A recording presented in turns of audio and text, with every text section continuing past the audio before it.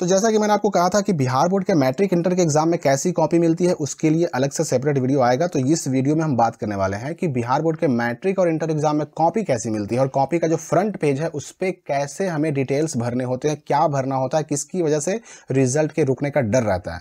तो यहाँ आप देख सकते हैं, ये कॉपी का फ्रंट पेज है और इसी में सब कुछ भरना है। अगर इसमें गलती होगी तो आपके रिज़ल्ट के रुकने का डर बना रहता है। तो जैसे ही ये कॉपी मिले, आपका फ्रंट पेज यही रहेगा। इसमें आपको चेक कर लेना। देखिए, इसमें तीन भाग होते हैं। ये हो गया बायां भाग। आप देख सकते हैं बायां भाग लिखा हुआ है। यहाँ पर एक निशान लगाया हुआ है। ये हो गया मध्य भाग, यानी यहाँ से यहाँ तक। और ये हो गया दाहिना भाग। तो तीन भाग रहता है फ्रंट पेज का। दाहिना भाग में देखिए, सब कुछ छपा हुआ है। एक नंबर में आपका नाम रहेगा रोल कोड रहेगा रोल नंबर रहेगा, विषय कोड और विषय। यानी कि किस दिन में आपको कौन सा एग्ज़ाम देना है, वो सब छपा हुआ रहेगा। इसके बाद पंजीयन संख्या और परीक्षा की तिथि छपा हुआ रहेगा। ये जो है, ये कॉपी नंबर है। उत्तर पुस्तिका संख्या कहते हैं इसको, ये कॉपी नंबर है। इसका काम पढ़ने वाला है आपको अभी ये मैं आगे बताऊँगा। और अब देखिए, आठ तक तो एक से आठ तक छपा हुआ है। नवा में क्या करना है आपको कि अपने प्रश्न पत्र का सेट कोड लिखना है। तो जो क्वेश्चन मिलेगा आपको, आप एग्ज़ाम देने गए, उस दिन जो क्वेश्चन मिला, जैसे हमने ये क्वेश्चन देखा, ये पिछले साल यानी 2022 के मैट्रिक का क्वेश्चन पेपर है। इसमें आप देख सकते हैं कि सेट ए है। तो हम क्या करेंगे सिंपली यहाँ पर कि सेट ए, इस बॉक्स में हम ए लिखेंगे। और सेट ए के नीचे वाले गोलक को गोल कर देंगे। ये काम हमने कर लिया नौ नंबर कॉलम में कॉपी में। उसके बाद देखिए दसवां में है, नीचे प्रश्न पत्र क्रमांक लिखे। तो प्रश्न पत्र क्रमांक कहाँ मिलेगा? यहाँ, दो सौ दस, ज़ीरो तिहत्तर, इक्यानवे, इक्यावन। ये वाला हमें लिखना होगा यहाँ। तो दो सौ दस हम यहाँ लिखेंगे, तीन। उसके बाद ज़ीरो तिहत्तर और नौ यहाँ लिखेंगे। उसके बाद एक, इक्यावन यहाँ लिख देंगे। हम क्वेश्चन नंबर हमने लिख दिया। उसके बाद ग्यारहवा में है कि परीक्षार्थी का पूरा नाम बड़े अक्षरों में तो आपका नाम तो यहाँ देख ही रहे हैं आप एडमिट कार्ड में भी है, आपको भी पता है आपका नाम तो यहाँ पर आपको मनोज कुमार, यानी जो भी आपका नाम है, वो यहाँ पर आपको कैपिटल लेटर में पूरा लिख देना है।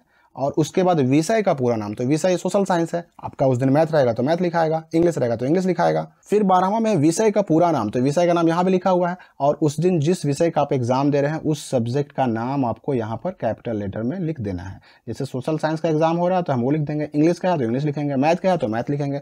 और उसके बाद है परीक्षार्थी का हस्ताक्षर। तो यहाँ पर आपको अपना साइन कर देना है। आपने हिंदी में अगर किया है इससे पहले साइन तो हिंदी में करेंगे। अगर इंग्लिश में किया है तो इंग्लिश में करेंगे, लेकिन साइन कर देंगे। ये हो गया दाहिने भाग का काम कंप्लीट अब देखिए, ये जो मध्य भाग है, मध्य भाग में कुछ भी नहीं आपको भरना है, कुछ भी नहीं करना है। इस भाग को लिखा भी गया है, इस भाग को एमपीपी द्वारा भरा जाएगा। मार्क्स पोस्टिंग पर्सनल इसमें आपको कुछ भी नहीं करना है इसमें एमपीपी का काम रहता है तो आप इसको बिल्कुल नहीं छेड़ेंगे। इसमें छेड़ने से आपके रिज़ल्ट गड़बड़ हो जाने का डर बना रहता है तो इसमें कुछ नहीं करना है। अब आते हैं हम बाएँ भाग में। तो बाएँ भाग में आपको क्या करना है कि उत्तर देने का माध्यम है दो नंबर में और एक नंबर में है विषय। तो विषय, जैसे सोशल साइंस हम एग्ज़ाम देने जा रहे थे तो यहाँ पर हमने सोशल साइंस लिख देना है। यानी कि सोशल साइंस हम कैपिटल लेटर में लिख देंगे। हिंदी में भी आप लिख सकते हैं, कोई दिक्कत नहीं है।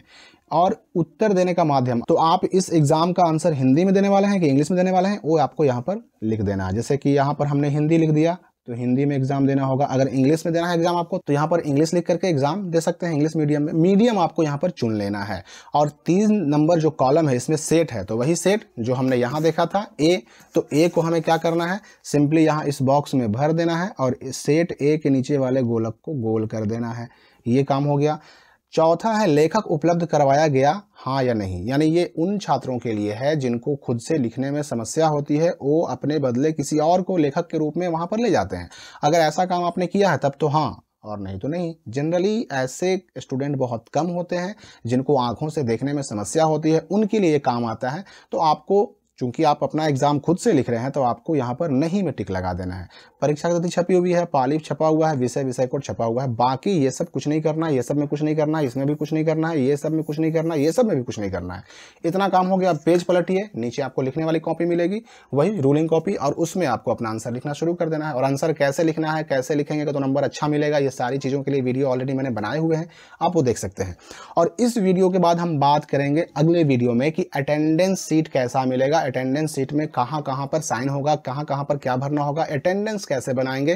क्योंकि अटेंडेंस छूटेगा मतलब आपको एबसेंट मान लिया जाएगा। इसलिए अटेंडेंस सीट को सही सही भरने का तरीका मैं अगले वीडियो में बताने वाला हूँ, जिसके लिए थोड़ा सा आपको वेट करना है। और उसके बाद एक वीडियो आएगा कि एक परीक्षार्थी को एक दिन के एग्ज़ाम में कुल कितनी बार, कितनी जगह साइन करना पड़ता है? क्योंकि साइन छूटेगा तो भी आपके एग्जामिनेशन का रिज़ल्ट पेंडिंग में जाने का डर बना रहता है। तो उसके लिए थोड़ा सा इंतज़ार कीजिए, मिलते हैं अगली वीडियो में।